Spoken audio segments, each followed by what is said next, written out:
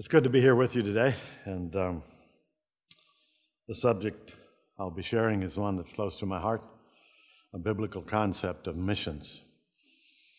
And uh, this subject is a very wide subject, and I for sure will not be able to cover it all. I'd like to look at some things with you. and, um, this is true in Latin America, in Costa Rica, or Peru, or in Pennsylvania. The uh, Praise the Lord, the Lord gave us instructions in the Bible. We have examples. And the most wonderful thing about the work of Jesus is that Jesus said, I will build my church. Who builds the church? Jesus himself. Jesus himself is the Lord, the head, and the director. I'm sure, I know Brother Dale, I'm sure he did.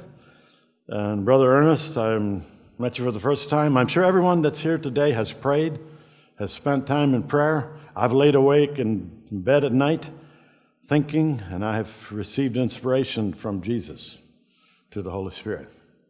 Because Jesus still leads and builds his church. He's the most important person in this project. so we need to follow his instructions. We need to know how he wants to work. And uh, we have a problem we tend to uh, sometimes imitate and learn from others, and I want you to know we can learn a lot from others. We all do. We all have learned so much from others. But sometimes it is easy for us to, to copy some of the Protestant methods.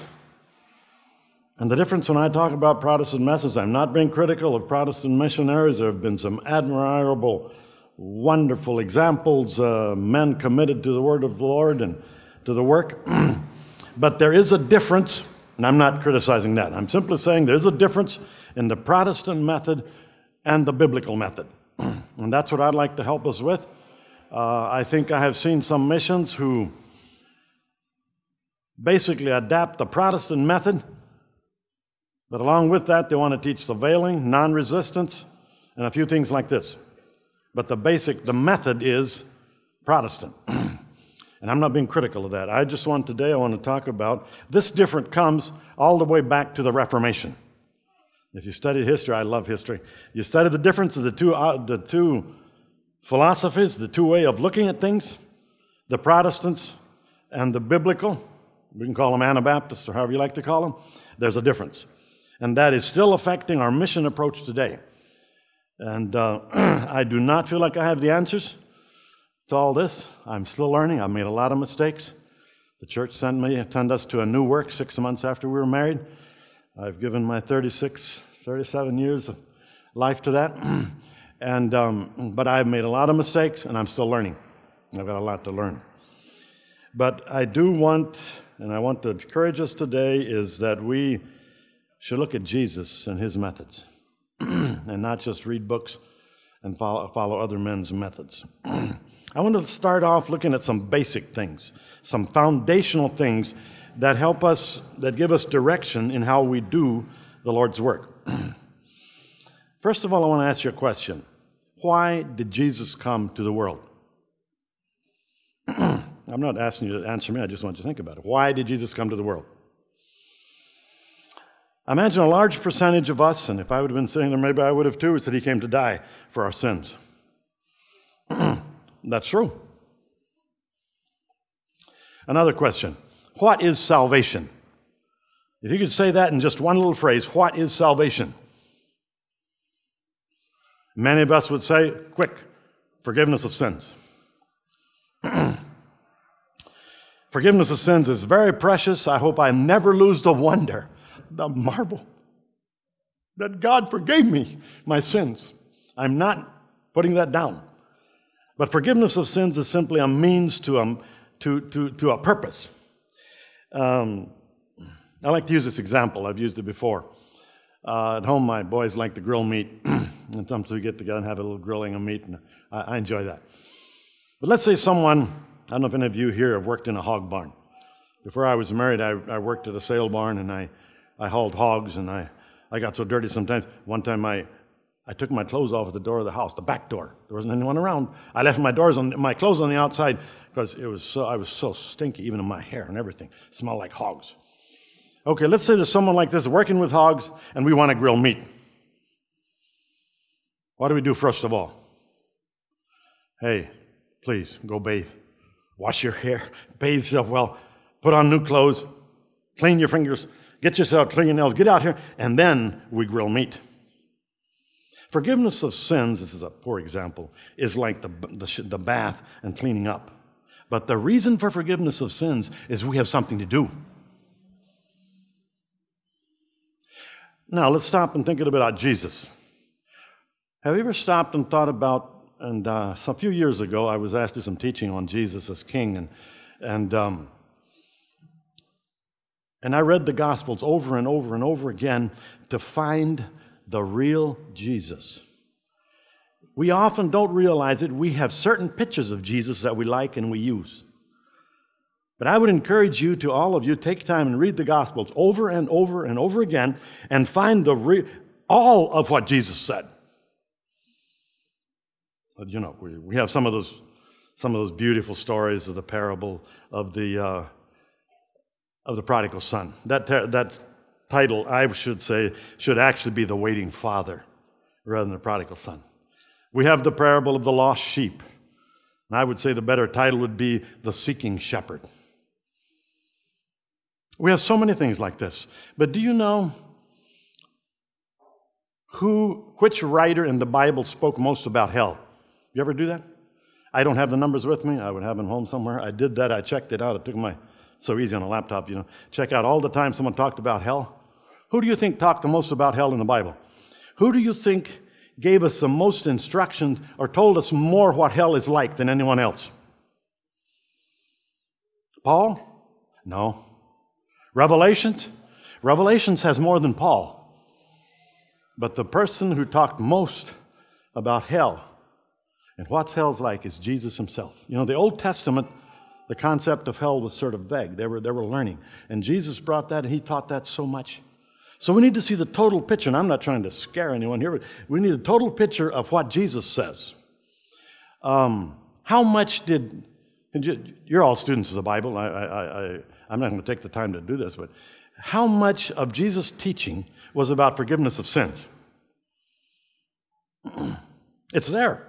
The prodigal son, um, that the story of the, the adulteress lady. I used to cry when I was re, I was going to recién convertido. I'm sorry.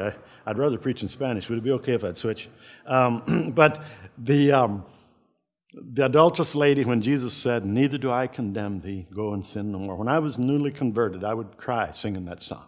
The song, Neither do I condemn thee. Wonderful word divine. Jesus talked about forgiveness, yes. But what was the emphasis of his, of his message? Let's stop and think about the Sermon on the Mount. Does the Sermon on the Mount talk about forgiveness? Yeah, it mentions it. The Lord's Prayer, it says, uh, if we don't forgive others, He will not forgive us. The Beatitudes, the beginning, give the conditions of a heart that's repentant and that God can forgive. But what I'm trying to help us to see is that the emphasis of God's teaching was not, I mean, Jesus' teaching was not forgiveness of sins. That's an important part. I, please don't quote me as saying that I'm saying it's not important. Without forgiveness of sins, without the new birth and the finding of new life, we cannot serve Him. We cannot. You've been memorizing, some of you, I think, well, that's tomorrow, I guess, the Romans 8. You know, without the Spirit of God, we cannot be His. But, um, and Jesus said, what was Jesus, what was the first thing He'd say? He'd say first, what, what did He say? Repent, for the kingdom of God is at hand. Repent. Why? We need to repent to have forgiveness of sins. But you know what? We need to repent to be able to work as a brotherhood. The repentance is not only to be forgiven, repentance is a, um, what's the word I want? Is something we need in our hearts to be able to function in the kingdom of God. That's so much of such a problem when we have people trying to serve God and don't have a repentant heart.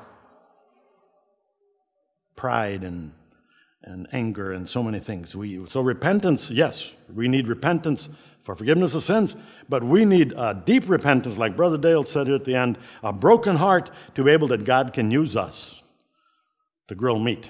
You know what I'm saying? To, to build the kingdom of God. What is the emphasis of the Sermon on the Mount?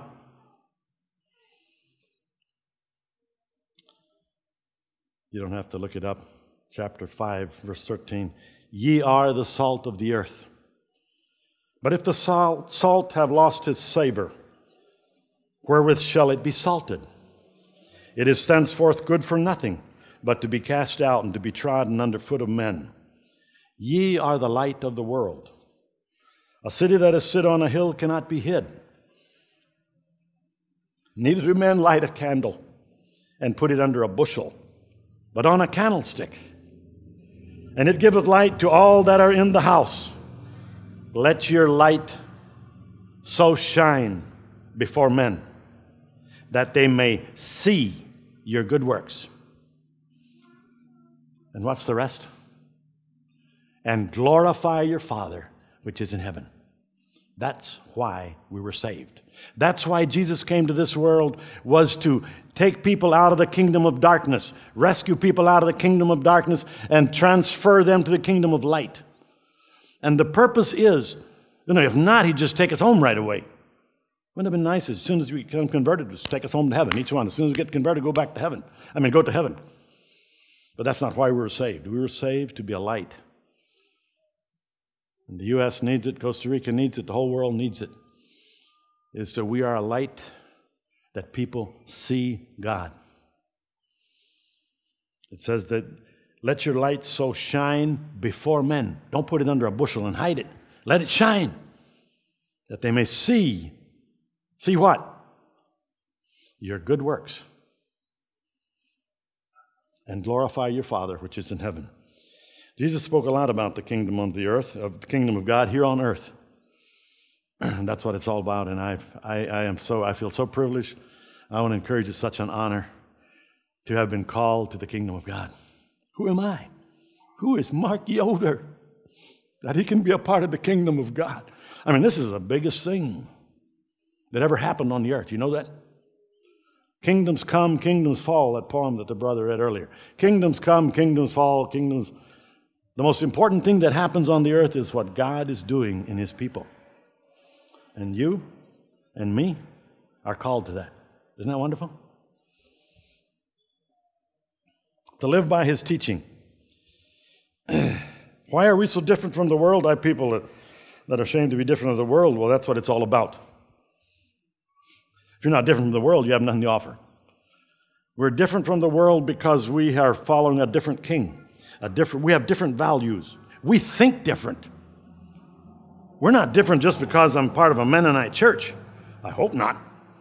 But we are different because we think different. Our values are different. Mm. And that God wants that to be evident, seen.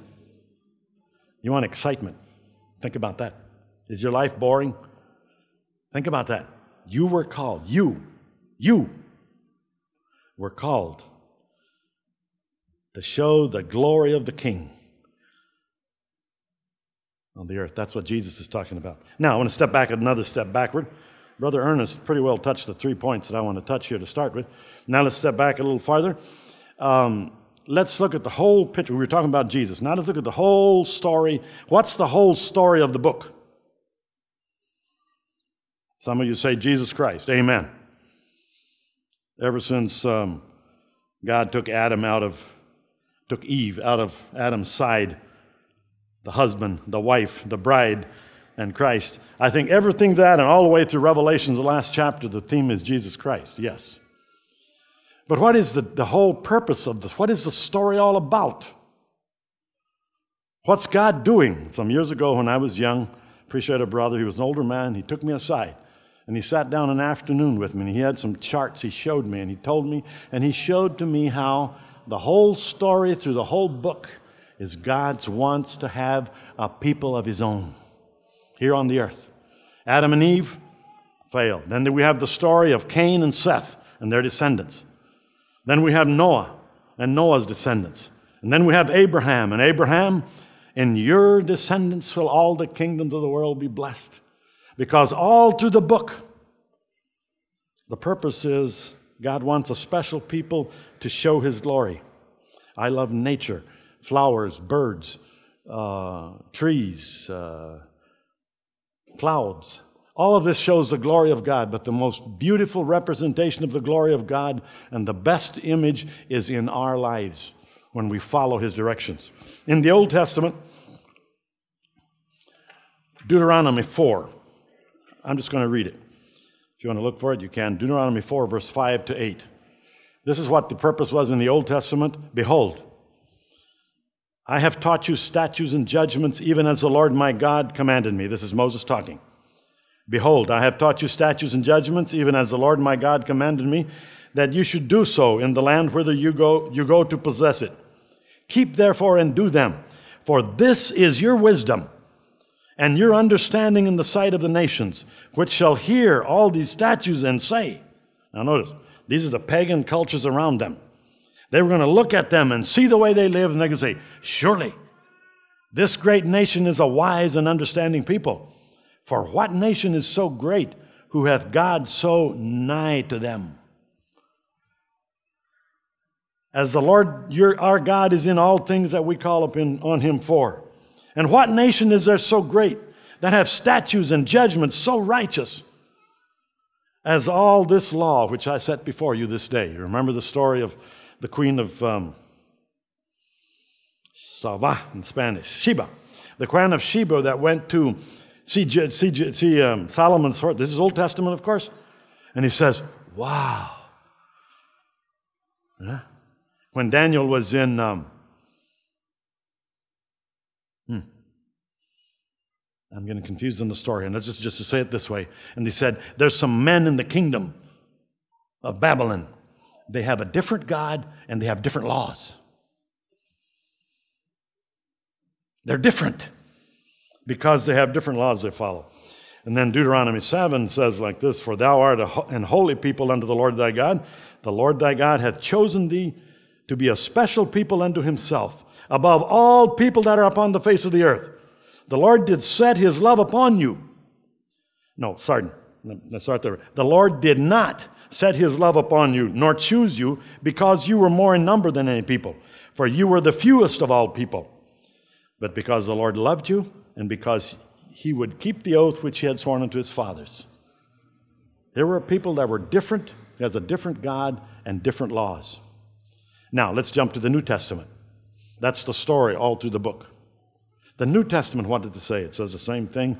1 Peter uh, 2 But you are a chosen generation, a royal priesthood, a holy nation, a peculiar people, that you should show forth the praises of Him who hath called you out of darkness into His marvelous light, which in time past were not a people, but now are the people of God, which have not obtained mercy, but now have obtained mercy. There's forgiveness, there's the calling into the kingdom.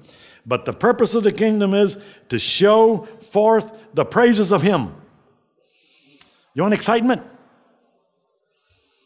mother with the children, fathers, young men at the work and jobs, young people, young ladies, you are called to show the glory of Jesus in your character, the way you live.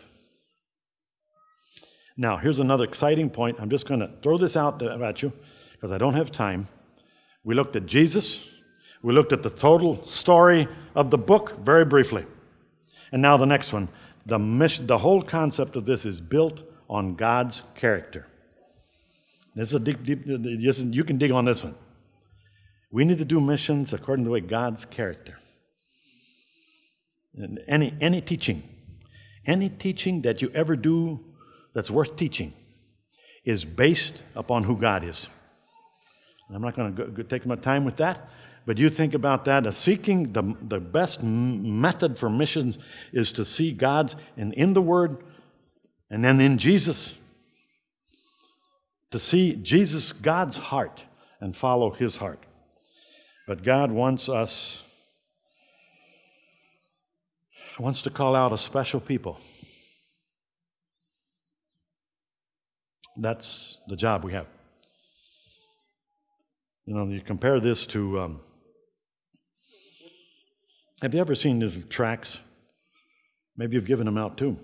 And on the back of the tract it says, well, I, I, can't say exactly something about, you know, da da da. If you want to become saved, read the, say this little prayer, da da da da da da da da. And then now you're a Christian, and now um, find yourself a church or something, read your Bible or something, blah, blah, blah, blah. Well, I'm not saying that no one can become saved reading that tract and reading that prayer. But in my experience, it's not that easy. Uh, Brother Ernest was talking about this lady. Just hearing about it is exciting because you know what? In that lady's life, the Holy Spirit was working. It was the Spirit of God. And you can't just lead people to Christ by repeat this little prayer or come up to the front and raise your hand or uh, you know do this and do that and now you're now you're a believer.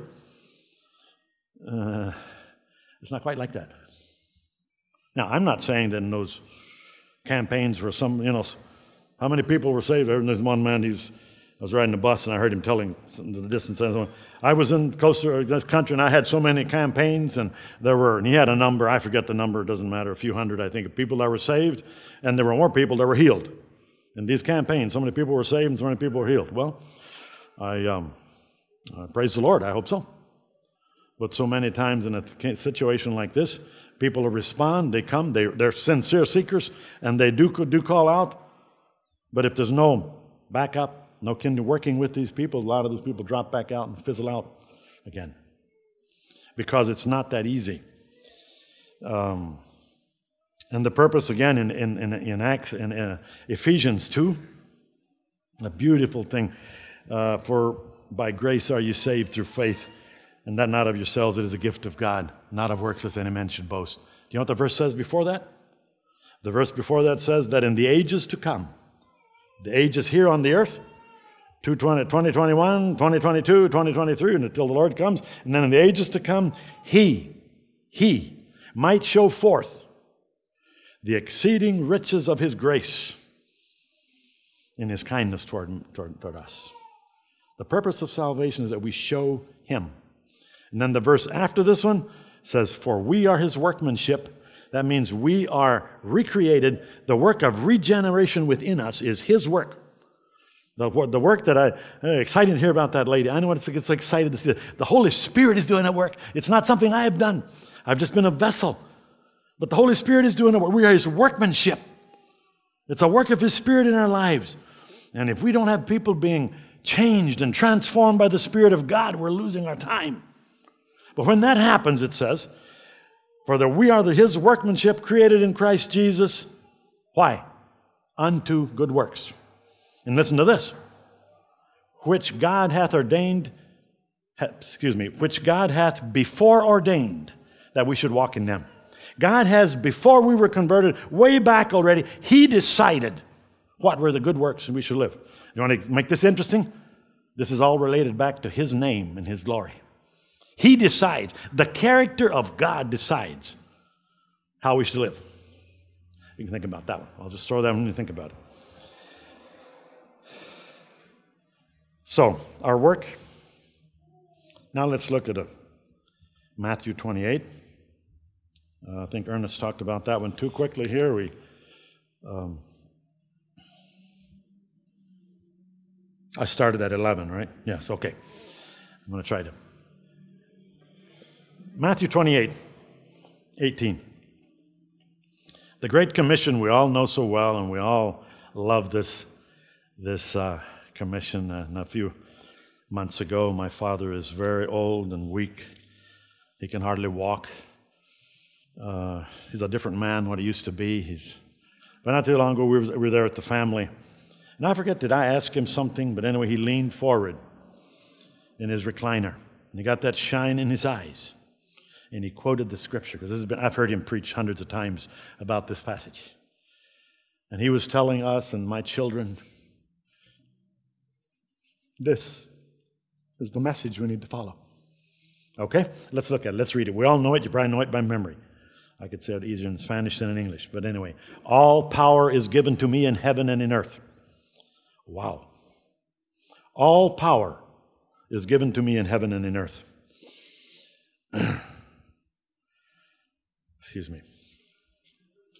Sorry. All power is given unto me in heaven and in earth. Go ye therefore, therefore, because of this. I mean, we go with the backing of all the power of God. All power is given to us. So then, go ye therefore and teach all nations, baptizing them in the name of the Father and of the Son and the Holy Ghost, teaching them to observe all things whatsoever I have commanded you. And lo, I am with you always, even unto the end of the world. Amen. Let's just look at that. Just cut, break it up a little bit. Number one, all power. The work is done. The work over the, the defeat of the powers of Satan. Satan is defeated. Satan is, has lost his power under the power of Jesus Christ. If we have, we're with Jesus, Satan is defeated, God is with us. Let's move forward. Then he tells us, Go ye therefore and teach all nations. Go ye therefore. Because of this, Satan has been defeated. The kingdom of darkness has been defeated. We have a message, be it the mountains in Peru and Costa Rica, Pennsylvania, wherever you're from. We have a message. The Lord Jesus Christ has overcome the powers of darkness, and every human being that repents and has faith in Jesus can be saved, can be translated from the kingdom of darkness, taken out into the kingdom of light. Jesus said, I will build my church, and the gates of hell shall not prevail. We've got that promise behind us. But then he says, Go and teach all nations. Now, I, am not going to argue here with your King James Version that the word uh, here about teach is a good word. It's true. The Spanish said make disciples. And I checked it again just this morning to make sure that, um, that I was not going to say something wrong. I checked on my laptop again. The word, the Greek word there is more than just teaching is, teaching is part of it. But the, the, the, the purpose of teaching, and have you ever seen someone speak when I taught school? and we'd have brethren the church come in and give devotions. And we have men that would communicate with the children, you know. They communicate, and the children sit there like this. We have some older men, and God bless them, they're wonderful men, but they're not used to communicating to children. So they'll get up here and they'll read the scripture here, and they will give a lecture, and they're talking like to adults. It's fine. I appreciate so much they come to school, you know. But they didn't communicate with the children. They, they, they just read the scripture and they preached like a little message to, and the children didn't, didn't catch on. You ever seen that? So teaching is more that you have not taught much until the people you're teaching have learned something. So the teaching, yes, but making disciple, the call here is we should take these people, and I should first be a disciple. Just reading that the other day, and Paul says that again and again. Follow me. Look at my example. Can you say that? Paul said that repeatedly. Follow me as I follow Christ. Learn from him. If you're, um, what, older brother, here's brother Ernest. If you're living close to Ernest, you see he's following Christ, learn from him not to follow Ernest, but to follow Christ. I have not accomplished much till I have taken someone and then he is following Christ. I can lead him, I can help him. You can take that lady, you can show scripture to her, but the goal is that she now is a disciple of Jesus Christ. Each one of us personally. That's a wow, we get a church that everyone is excited and each one is being led by Jesus Christ. Something is going because all power is behind it. So make disciples, lead them to Jesus. Uh, then it says, baptizing them in the name of the Father and the Son and the Holy Ghost. And I won't go into this, but you know, so the Bible says, baptized into his body. Jesus is the head, but Jesus is not a headless being. Jesus, at least here on the earth, the way he wants to function, he is the head, and it's so exciting. I'm sure. I'm not going to ask you to raise your hands. How many of you prayed this morning? How many of you sought the Lord this morning?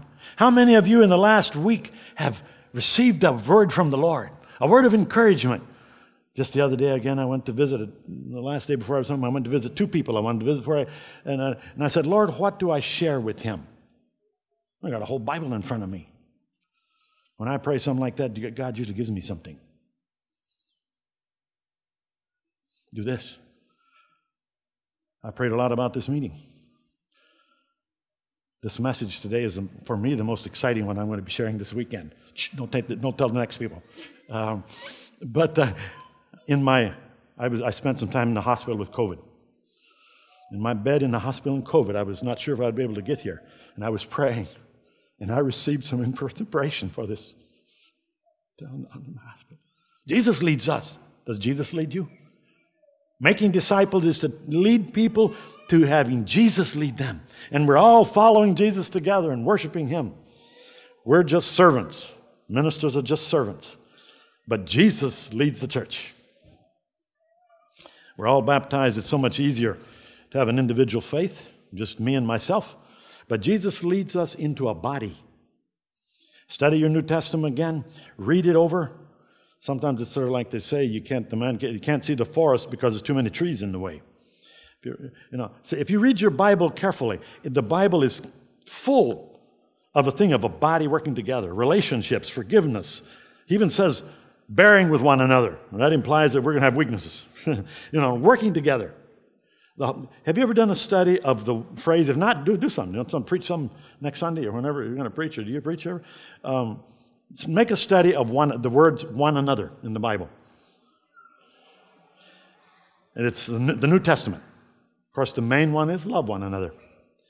But then it's exhort one another daily, um, encourage one another, and there's a whole list of those. And what, how do you fulfill those? The only way to do this is when you're working with a body. And when Jesus said in Matthew 16, I will build my church and the gates of hell shall not prevail against it, that's 16, 17, and 18. Remember what it says in 18? He says, If in the body there is sin, implying that will happen. And he tells us how to take care of it. One person go alone, then two or three. And if he keeps resisting the help, then the church. And if not, what did Jesus? This is Jesus talking. Did you realize it's not, it's not the Mennonites, it's not the Amish, it's Jesus talking. And in, so, in the context of I will build my church, he is right away showing us that we are accountable to each other. We're responsible for each other. If I'd be working with Brother Ernest, um, Ernest, you'd soon seen some of my mistakes and some of my weaknesses. And I need you. My brethren at home need me. My children have corrected me. Dorcas, my daughter that's here, the youngest one, she's told me, Dad, are you sure Dad, I need that. We need each other. We need accountability. We need a body to work together with. It's all through the New Testament study. So when we bring people to the Lord, we're bringing them to His body, to His. That is the fulfilling of, of, of, the purpose. And I know there's some exceptions. I heard what Ernest was saying about this lady. She went somewhere else. And, you know, there's cases like this that we pray. But our goal is to lead people to the Church of Jesus Christ and to function as a brotherhood. And then teaching them to observe all things whatsoever I have commanded you. Uh, what? What did he say? Now remember, who is saying this? Jesus says. Teaching them to observe all things. Have you ever heard people say, well, I, I, I had people tell me this. Uh, I, I focus on the most important things. I had one man tell me, he was a pastor, not, not Anabaptist pastor, but he told me, I, I, I teach the most important things. I never have time to get to those other things that, that you Anabaptists teach. Um, your Bible students, does the Bible anywhere imply that some of the teachings of Jesus or the teachings of the New Testament are more important than others? Hebrews, it talks about the foundation, we build on the foundation, and Paul says, let's move on to the others. But does he tell us, do you hear that here at home? We say, bueno, esa doctrina no es de salvación. Or this doctrine or this teaching is not something for salvation. I mean, it's optional. But you can be saved without following this one. And I'm not saying, uh, I'm so glad that I don't have the ability, and it's not my responsibility to decide who's saved and who's not. God takes care of that. But the teaching is that Jesus himself says, Teach all the things that I have taught you. We don't have the right, and there's, I don't think there's any information in Scripture that we can say, well, this is more important. This is, uh, well, when we get time to it, well, but this is not as important. He simply says we should teach the whole package. And all of it, like I say again, is so powerful, is so beautiful, especially when you think about how his teaching is an expression of the heart of God. And what God wants here on this earth. Another one right along with this one is what is doctrine? Oh, soon after I was in Chechaguas years ago, and I've heard it lots often, uh, very often since too. Uh, one evangelical preacher told me, Pentecostal, when I say evangelical, Pentecostal, Protestant. Uh, we say evangelical, but maybe I don't. A Protestant preacher, he said, you know, the Catholics are criticizing, we're criticizing the Protestants because they were divided up in so many groups. That's a problem. It's true, Protestants and Anabaptists too. And he said, um, and we're going to have a march in San Jose, that's the capital city of Costa Rica. We're going to have a march in San Jose, and we're going to forget our doctrines. We're going to all forget about We're going to go into San Jose, and we're going to march down Central Street. A large group of, of uh, Protestants, of, of, uh, we were going to march down the streets and show the Catholic world that we are united. Do you think I should have joined him on that one? I tried very kindly to explain him that I have some serious problems with some of their teachings. I was trying to be careful. I didn't emphasize it, but he did find out that I'm not going to go and say that I'm united with some of these things.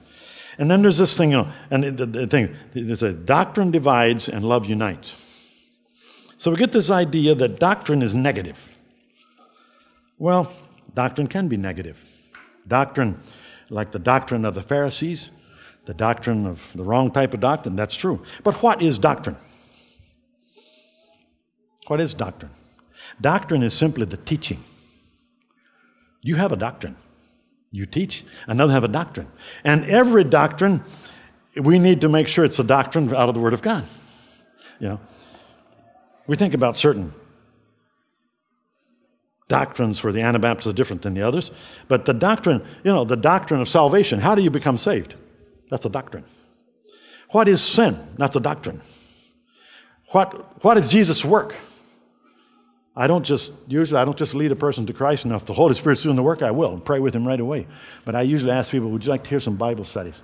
If I can get them and let them come to their living room, and I sit in their living room, we have some Bible studies. And I, the first one is about the holiness of God, and then about the condition of the sinful man, and then about what the work of Christ, and I, we lead them to understanding. But all that is doctrine. Whatever you know about God is a doctrine, the teaching of who God is. Doctrine is not negative. We have a wrong concept sometimes. Uh, and where, what, what is, where do we get doctrine? There's the next thing goes right with it. They start pushing this book aside. We need the Holy Spirit. We don't need the book. Well, what do you know about God that didn't come out of here? If you know something about God didn't come out of here, it's, it's, it's, it's, it's in doubt. What do we know about God? What do we know about Jesus? What do we know about sin? What do we know about the church? What do we know about anything about the Christian life? It's here. And it's doctrine. Now, there's a misuse of doctrine. There's a misuse of this book, obviously. And that happens a lot. But um, take heed unto thyself and to the doctrine. What he's saying there is not you know, keep the doctrine of uh, that's in that black book up on the shelf. He's saying keep the doctrine of who Jesus is, Jesus' message, that how we can become saved, how we can be forgiven, and then how we live, how we should work together as a brotherhood. That's all teaching. It's all doctrine, and it's all we get it here. It, it, take heed unto the self and to the doctrine, unto your teaching. Continue in them, for in doing this, what does he say? Do you remember? For in doing this, thou shalt both save thyself and those that hear thee. He's implying by that that if we have a wrong teaching and a wrong doctrine, a wrong teaching, we might not be saved and we might be leading people to the, that, are, that are not saved either. And that's a serious problem in our world today. Years ago, I'm not sure, was this in the 1980s? John Wimber, I'm not sure the date now. John Wimber, he's the founder, one of the founders of the Vineyard Churches. And his, his thing was we need another paradigm. The old paradigm we've been using of just teaching the Bible and teaching the, the, the, we need another paradigm, and his basis was because the Oriental churches, and he has some, I'm not saying he doesn't have some reason, that they're more sensitive to the spirit world and to what happens in our experiences. And so he said, we need to change the paradigm. And it was, it was, a way of just saying, let's put this aside and let's use praise and worship and move forward. And that gave birth to the Toronto Blessing, if you've read that or not about that, the Toronto Blessing, the, the Brownsville revival in Florida, um, where there was things that happened where we're way out of the book because we were following experience. And we do not want to go that way. We do not want to go that way. This is, if you don't have this, you have nothing to go by. and I, I, as the older I get, the more I love this book. I have an office full of books, and I, I, I like books, and I, I, but the older I get, the less I read my books. I could burn most of them. And I just get excited about this book. This is the book we need to look at and read and study. And from this, learn God's heart of what He wants to do. There's good books. I, you know, there's good books. It's not, I'm not saying it's against writing books. But, but sound doctrine is in the Word of God, and this is precious. Of course, there's a misuse of this. Of course, the Bible itself tells us that we can, there's dead law and the life of the Spirit. The Bible tells you that, and that's a doctrine. Do you know that? That's a doctrine. It's a teaching that tells you that the misuse of the Word of God can become just a dead law and doesn't change any hearts. People just become hardened hypocrites by misusing the Word of God, or you lead them to the Spirit of God, and the Spirit of God works in their life. That's a doctrine. That's a, it's a teaching. And we need that, and it's here. And lo, I am with you always, even to the end of the world. Isn't that wonderful? Where's God going to call you? Where are you going to be involved when you're doing His work? His way, under His direction. Did you know all heaven is behind you? You ever go somewhere, maybe some of you, it's going to be sort of new to go the first time to witness someone. I know that feeling. I still get it. And I go to talk to Lord, what am I going to tell this person? They want to talk to me, or I want to go witness to him. What am I going to tell him? Yesterday, coming on on the plane, uh, there was this, I met this young lady from, from Spain. She lives north of Madrid. And I was in Spain a few years ago doing research on a book, and so we got on a good subject. And, and of course, my book about Spain was about uh, the time of the Reformation, the man that translated the Spanish Bible. But anyway, and, but she caught on soon, and she said, Yes, the young people in Spain are ashamed of, the, of how Spain, some things in their past. Uh, it was a wonderful history. Of the, I had two weeks of a course of history, and I love Spain. I love their big well, I love them, my love of history. And she told me she lives close, close to El Escorial. But anyway, that's off the subject. And we started talking. Then later, and I, and I said, you know, the thing is, there's a real personal faith. When we have a, no one can force faith on you. The Catholic Church did, the Protestants did the same thing. John, John Calvin and Martin Luther, they tried to force people to be, to have a faith. You can't do that. And she understood that very quick. Faith is something that is personal. And then after we laid back and took a nap and slept a while, and, and, I was, and when I woke up, I said, you know, I wish I could tell you a little more to her. And just as we were coming into Pittsburgh, just getting ready to land, I said, Lord, if she, and she was real intent, looking out the window, looking at outside, just like I do sometimes. And then I said, Lord, if she turns her face and looks this way, I'm going to say something. I waited a little bit, and she turned her face. And I talked to her about the sad story of faith, the, the, of, of religion, power religion, and all this. And I told her, but there is a real faith. There's a personal living faith in Jesus Christ that's real. I had a man from India. We met him on the bus some years ago, and I same thing. All he knew about Christianity was the stories about the Catholicism in Europe and all these big stories and the, the holy wars and all this. And I told him, Mister, there is a different faith. He says, Really? You know what I ended up doing? I ended up inviting him to my house. He spent three nights in our house. And he, he, he interviewed, not Dorcas, it was my oldest daughter. This has been a few years ago. He interviewed you. He said, Are you happy? And, he, and I don't know what all he asked her. He asked Anita, Anita, what, what about your faith? What about this? He says, Really?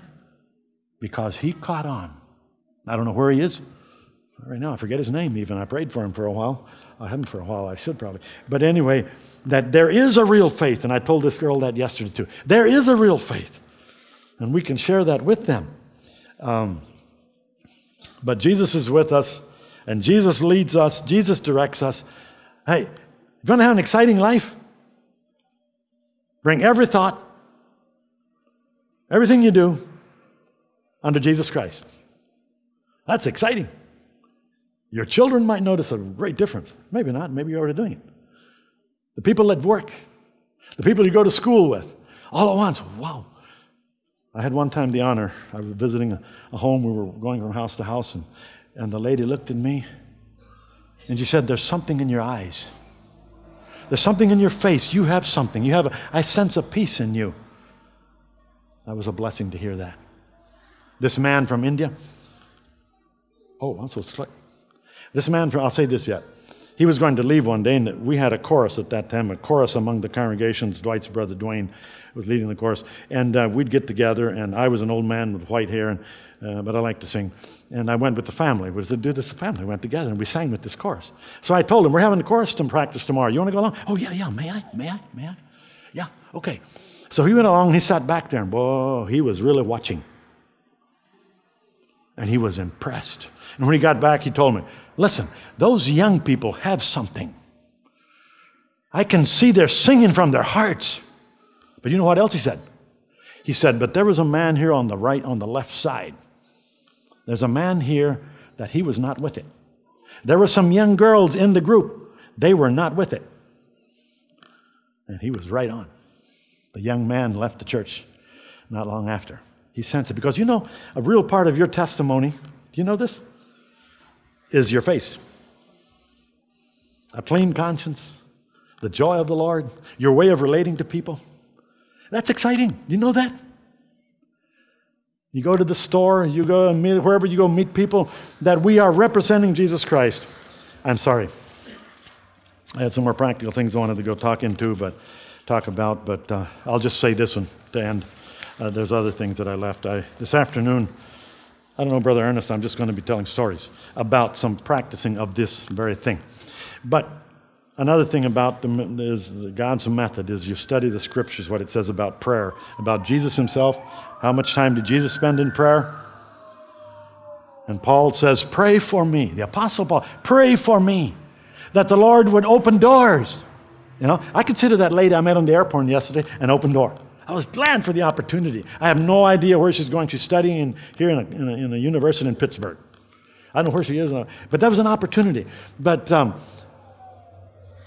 God has called us and into the battlefield. Oh, Paul prayed, I'm sorry, I got sidetracked. Paul prayed for open doors, and then he says, Pray that I would know what to say. You know, you, you ever see that? I admire Brother Dale. Brother Dale, I've seen it again and again and again that at the right moment, he has the right words. There's so often times that I sit there and, what should I say? What should I say? And the opportunity goes by, and I didn't say anything. You ever happen to you? It happens to me. But that, but that prayer, I'll just say this prayer is not only praying for the battle, prayer is the battle. Prayer is part of the battle. It's not all of it, but prayer is part of the battle. And if you want to have the Lord work in your life and use you, you need to pray. You need to spend time with God. And it's not only a time of sitting there and, and you run through all these names and you run. It's a time of quietness in His presence a time of connecting with Him and a time of listening to Him. I like that the first thing in the morning. Some people do it later in the day. That's fine. I, uh, you decide when. But a time when I read the Word, when I pray, and I listen to Him, that is very important, and it's part of the battle. God bless you.